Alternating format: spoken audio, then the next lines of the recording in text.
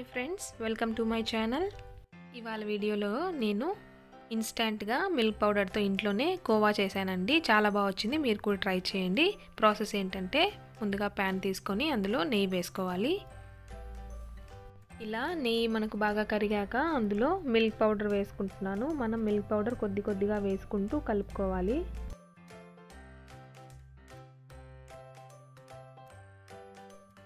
ఇలా ఉండలు లేకుండా బాగా కలుపుకోండి. టూ మినిట్స్ అలా నెయ్యిలో ఫ్రై చేసుకుంటే సరిపోతుంది. ఆ తర్వాత ప్యాన్ తీసుకొని అందులో వన్ కప్ షుగర్ వేశాను. అలాగే ముప్పావు కప్పు నీళ్ళను కూడా వేసి మనం బాగా షుగర్ని మెల్ట్ చేసుకోవాలి. ఇలా టెన్ మినిట్స్ మనం ఈ వాటర్ని బాయిల్ చేసుకుంటే సరిపోతుంది. బాగా ఇలా దగ్గర పడుతుందండి వాటరు. ఆ తర్వాత ముందుగా నెయ్యిలో మనం మిల్క్ పౌడర్ని ఫ్రై చేసాం కదా అది కూడా వేసి మిక్స్ చేస్తున్నాను. మిక్స్ చేసేటప్పుడు మీరు కొద్ది కొద్దిగా వేసుకుంటూ కలుపుకోండి. ఇప్పుడు అందులో హాఫ్ కప్ పాలు కూడా వేసి కలుపుకుంటున్నాను. పాలు వేస్తే టేస్ట్ ఇంకా చాలా బాగుంటుందండి. తర్వాత ఇందులో యాలకల పొడి కూడా వేసుకుంటున్నాను.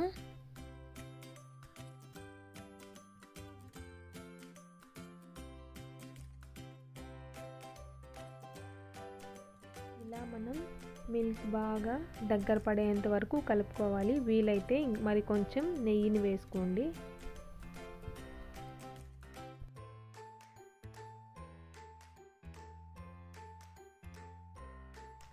లో ఫ్లేమ్లోనే పెట్టుకొని చేసుకోండి. అప్పుడే మనకు అడుగు అంటకుండా పర్ఫెక్ట్గా అయితే వస్తుంది. ఇలా బాగా దగ్గర పడేంత వరకు ఫ్రై చేసుకుంటే సరిపోతుందండి. తర్వాత మనం ఒక ప్లేట్కి నెయ్యిని అప్లై చేసుకోవాలి.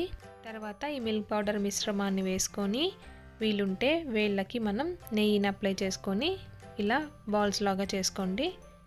మనకు ఈ స్వీట్ ఏ ఏ షేప్లో కావాలంటే ఆ షేప్లో చేసి పెట్టుకోండి. సో ఇప్పుడు మీకు నచ్చిన డ్రై ఫ్రూట్స్తో గార్నిష్ చేసుకుంటే మిల్క్ పౌడర్తో స్వీట్ రెడీ అయిపోతుందండి. సో ఫ్రెండ్స్ ఈ వీడియో నచ్చితే లైక్ చేసి షేర్ చేసి మరిన్ని వీడియోల కోసం మన ఛానల్ సబ్స్క్రైబ్ చేయండి. Thank you so much for watching.